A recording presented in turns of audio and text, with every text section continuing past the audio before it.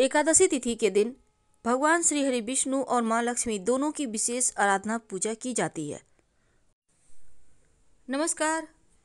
बहुत स्वागत है आपका। आप देख रहे हैं धर्मासन मार्ग। जीवन में भला धन किसे नहीं चाहिए? और इसीलिए हम खास दिनों में खास प्रयोग करते हैं, ताकि माँ लक्ष्मी प्रसन्न होकर हम पर ढेर सारे धन, खुशियाँ, सुख, संपत्ति बरसाए। ऐसे में एकादशी की तिथि, जो श्री हरि का दिन है, और एकादशी के दिन श्री हरि प्रसन्न मुद्रा में रहते हैं और उनके साथ हैं माँ लक्ष्मी। जब भी आप पूजा करें एकादशी के दिन तो श्री हरि और माँ लक्ष्मी दोनों की ही एक साथ करें।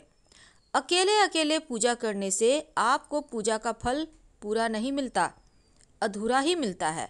इसीलिए जब भी पूजा करें, साथ में माँ लक्ष्मी के श्री हरि की ही पूजा करें। अब हम चूँकि बात कर रहे हैं, एकादशी के दिन चावल के डब्बे में रख दें। आखिर ऐसी कौन सी वस्तु है जो एकादशी की तिथि पर अगर रखी जाए तो जीवन में सब कुछ आने लगता है? देखिए, एकादशी तिथि के दिन चावल नहीं खाना चाहिए, हर कोई जानता है। लेकिन माँ लक्ष्मी को चावल बहुत पसंद है और साथ ही माँ लक्ष्मी को पसंद है हल्दी और कुमकुम, चांदी। तो आज हम एक छोटा सा प्रयोग बताएँगे। किसी भी एकादशी के दिन आप एक छोटा सा काम कीजिए। क्या करेंगे? जब आप स्नान वगैरह कर कर श्री हरि माँ लक्ष्मी की पूजा करेंगे, तब माँ लक्ष्मी को एक चांदी का सिक्का भेंट करें, अर्पित करें। और ये चांदी का सिक्का आप, कोई भी सिक्का आपके घर में पड़ा हुआ है, उसको धोकर, गंगा जल से शुद्ध करके अर्पित कर दें। माँ लक्ष्मी के सामने रखें किसी पात्र पे। अब इस पर थोड़ा सा हल्दी और थोड़ा सा कुमकुम अर्पित करें।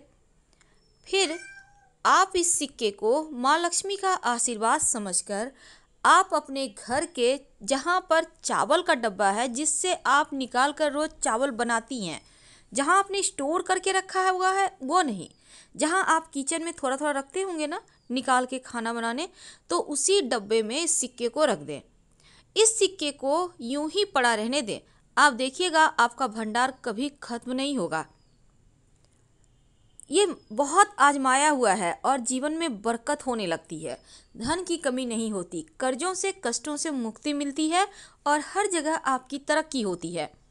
अब जब आप चावल बना रहे हैं, आपके चावल आप निकाले हैं धोने के लिए, उसको बनाने के लिए, हाथ में चांदी का सिक्का आ जाए, वापस से डब्बे में रख दें। यूँ ही पड़ा रहेगा और हमेशा ध्यान देते रहें।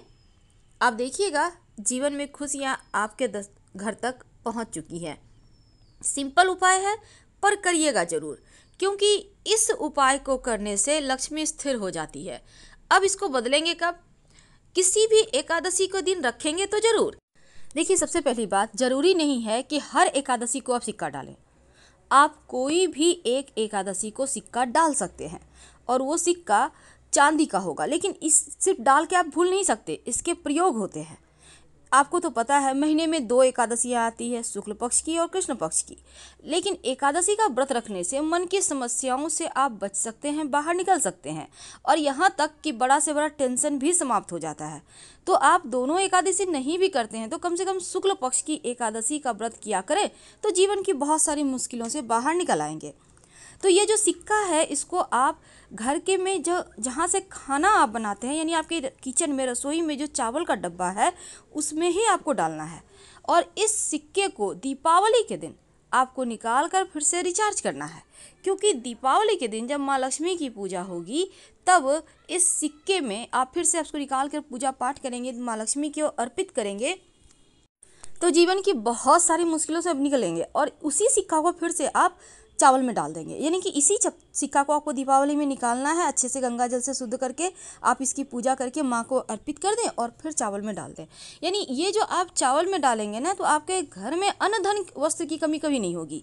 आपको विश्वास नहीं है तो आप करके देखें, आपको एक दो महीने में ही समझ में आ जाएगा कि घर में खुशियाँ आने लगी है, बरकत होने लगी है और जीवन एक बार फिर से अच्छे से चलने लगी है। बहुत सिंपल है, लेकिन इस प्रयोग को आप किसी भी एकादशी को कर सकते हैं। साथ ही आप चाहें तो चावल के डब्बे में दो लौंग भी रख सकते हैं। इससे क्या होगा ना, लोगों के किसी भी तरह का तंत्र मंत्र क्रिया आप लोगों पे असर नहीं करेगा। लौंग के बहुत सारे प्रयोग हैं, हम फिर आपसे मिलेंगे, बहुत सारी बातें करेंगे। हर हर महादेव, अगर वीडियो पसंद आ रहा हो तो प्लीज़ लाइक कर, सब्सक्राइब करें। और ज़्यादा जानकारी के लिए आप हमारे website grand dot com Google पे आ सकते हैं।